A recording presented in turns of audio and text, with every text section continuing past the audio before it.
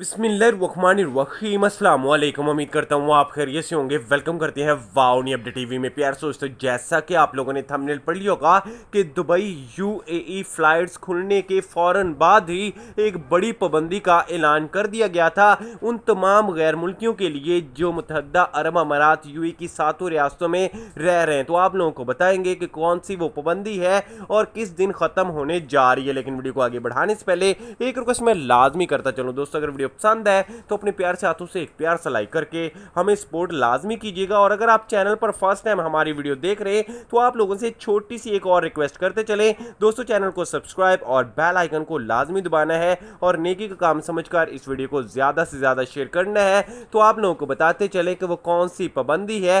دیکھیں اگر آپ بھی واٹس اپ یوز کر رہے ہو اور واٹس اپ پہ آپ آڈیو یا ویڈیو کال دیکھنا چاہتے ہو، کرنا چاہتے ہو، تو آپ لوگوں کو بتائیں کہ ابھی تک پابندی مطلب متحدہ عرب امارات دبئی کے اندر وہ موجود ہے۔ صرف اور صرف آپ میسج کر سکتے ہو، کال وغیرہ نہیں کر سکتے، تو وہ جلد انشاءاللہ کھول دی جائے گی، اس کے بارے میں بات چیت چل رہی ہے۔